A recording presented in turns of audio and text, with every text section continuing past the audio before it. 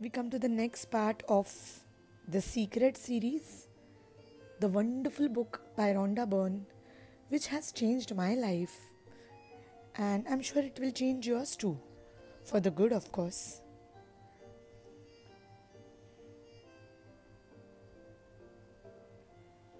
The book The Secret talks about the law of attraction. Law of attraction is one of the most profound laws of this universe and works no matter what.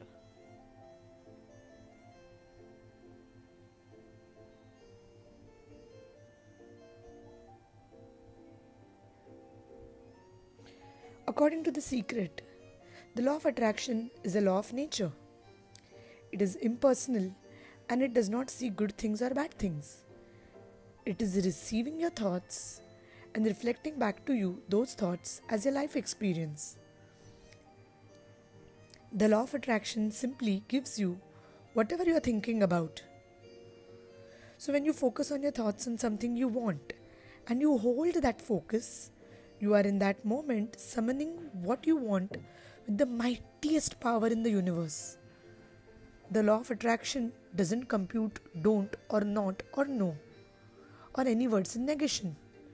So, as you speak words of negation, this is what the law of attraction is receiving. So when you say I don't want a bad haircut, the law of attraction is reading it as I want a bad haircut.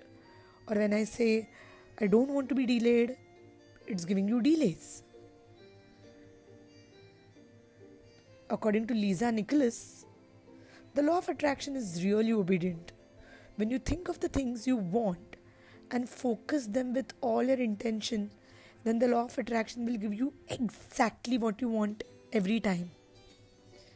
And when you focus on the things that you don't want, I don't want to be late, I don't want to be late, the law of attraction doesn't hear that. It manifests the things you are thinking of because it acts on a vibration. Well, you know how I look at it? Whenever, uh, friends, I'm going for a meeting or a training, and I live in Mumbai city. So, Mumbai city, people keep saying that, you know, Mumbai is full of traffic. And I've tried and experimented using this law with my own life. So, whenever I used to say I don't want traffic, I used to get traffic. But then I decided to change it to I'm going to get empty roads. Now, after that, I get empty roads all the time, which is the same as no traffic. But understand this when I'm saying that um, there is no traffic, the only thought which is coming to my mind is traffic and if I tell you to close your eyes and to think of the word traffic, it shows you jammed junction. So, you know, that's how the law of attraction is working. Whereas when I say I am going to get empty roads, the roads are going to be empty and you're going to reach on time. Try using this in the law of attraction.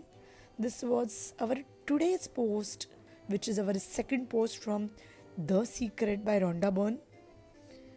The law of attraction is giving you what you want and what you're thinking about.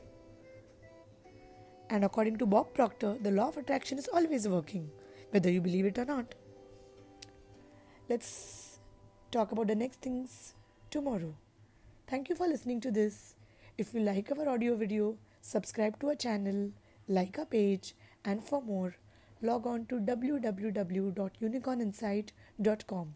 This is Ashwini Chube, your spiritual teacher, and thank you for listening to this audio video. Bye bye.